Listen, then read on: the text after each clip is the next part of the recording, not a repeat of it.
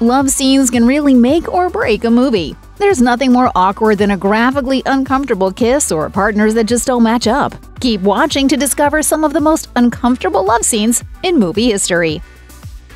The infamous Fifty Shades of Grey book series developed a reputation to the point that everyone was talking about it. What started out as nothing more than Twilight fan fiction took on a life of its own as millions of readers were introduced to the world of BDSM. Once a movie adaptation was announced, things got even hotter and heavier. In the final installment of the film series, 2018's Fifty Shades Freed, when Anastasia and Christian enter the Red Room, things get a little interesting. The most shocking moment happens when we see all the toys that Christian has, which include some seriously not safe for work items. That doesn't necessarily make things entirely uncomfortable, though. The real problem is the lack of chemistry between Dakota Johnson and Jamie Dornan, which makes the whole scene seriously awkward. While it was meant to be hot, it just wasn't. Instead, it was an oafish encounter that even the most devout nun would yawn at.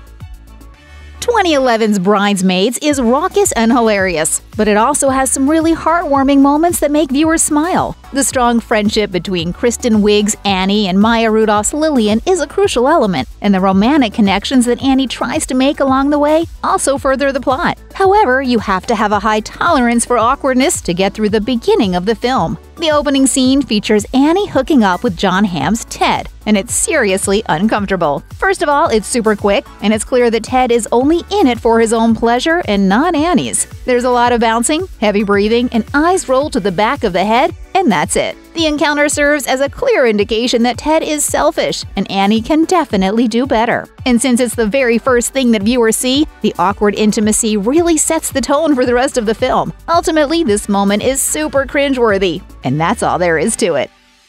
2007 was a great year for cinema, especially rom-coms. There were so many classics that came out like Juno, Enchanted, and Dan in Real Life. One that really stood out among the heap was Knocked Up. This Judd Apatow directed movie about an unplanned pregnancy is hilarious and entertaining. As this subject matter typically involves intimacy, there's naturally a love scene, but it's not exactly the most romantic thing that's ever been put on the big screen. The love scene that results in the pregnancy isn't the most awkward one. Instead, the most uncomfortable one happens much later when Katherine Heigl as Allison and Seth Rogen as Ben already know that they're having a baby, and Allison is quite far along. The two of them would like to get it on, but because of Allison's baby bump and her lack of confidence, as well as a fear of somehow hurting the baby, the moment is a bumbling mess. Oftentimes, movies that feature intimate scenes focus much more on the male character, but in Knocked Up, it's abundantly clear that neither Ben nor Allison is enjoying themselves in this scene. You can't help but feel secondhand embarrassment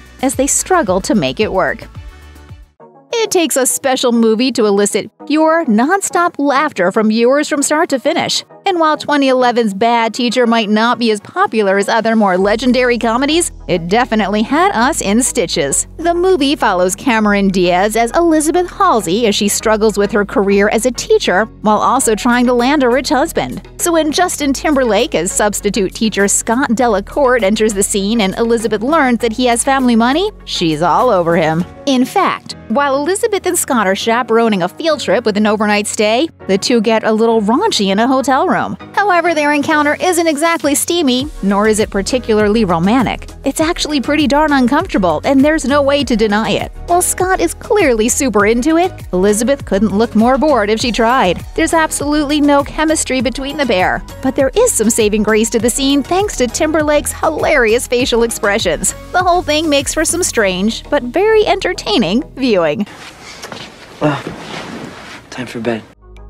After her big screen breakout in Bridesmaids, Melissa McCarthy went on to headline a slew of other high profile comedies. One of those was the 2013 buddy flick Identity Thief, in which she starred alongside Jason Bateman. The plot followed McCarthy as Diana, who makes her living by stealing identities and selling credit cards to shady people. When she steals the identity of Sandy Patterson, as played by Bateman, things get hectic as he tries to track her down and turn her into the police in order to save his job. When Diana and Sandy make a pit stop at a motel and Diana meets a local cowboy named Big Chuck who's looking for a good time, things take a turn for the nasty. In the love scene that results, Diana and Chuck head to a room where they proceed to get it on, all while Sandy is right there with them. It's awkward, cringeworthy, and seriously uncomfortable. There's even a moment when Big Chuck asks Sandy if he'd like to watch them hook up as he proceeds to drop his pants. It's safe to say that this is not everyone's idea of a good time.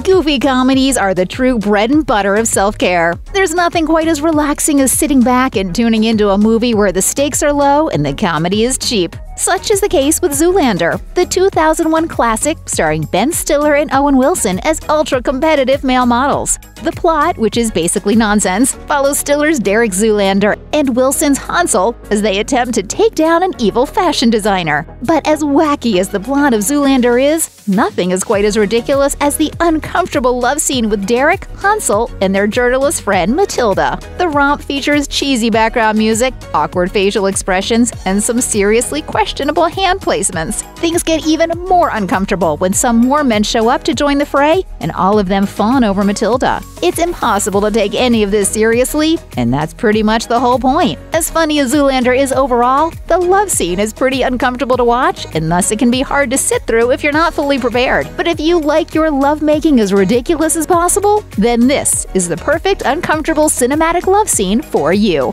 Just give in to the power of the D.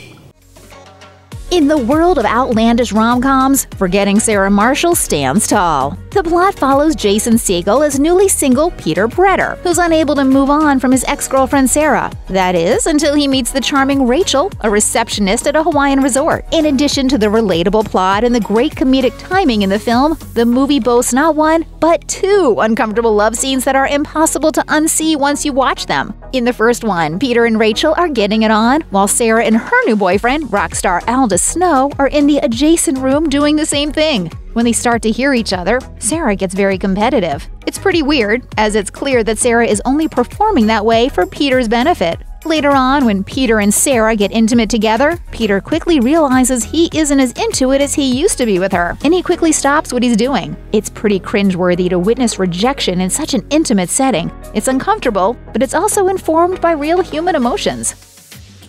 In 2015, Amy Schumer had her big screen breakout with the Judd Apatow directed rom com Trainwreck, which she also wrote. It features a heartwarming and satisfying love story, though there are some bumps along the way. There are also plenty of hilarious moments, and the one that takes the cake has to be the love scene between Amy and John Cena as Steven. Despite how handsome Steven is, he and Amy don't have much chemistry, making it clear that they ultimately aren't very compatible. Nothing makes that more obvious than the moment when Amy requests some dirty talk. Unfortunately for her, Steven really can't comply in a way that's even a tiny bit satisfying. These two are absolutely not meant to be, and their stiff and cringeworthy bedroom life is a big reason why.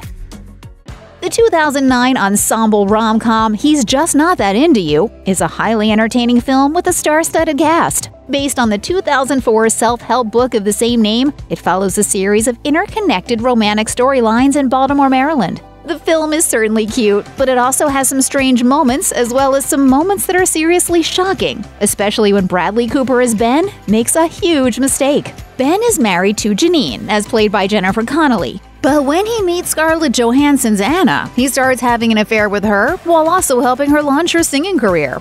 Things get a little awkward when Anna is at Ben's office for a meeting and Janine shows up to seduce him in order to get their marriage back on track and he doesn't say no. Instead, he shoves Anna into a closet where she's forced to listen to Ben and Janine hook up. This moment is seriously disturbing for Anna, as well as for anyone watching. made me sick to my no stomach. choice. What You're was a I disgusting excuse for a man.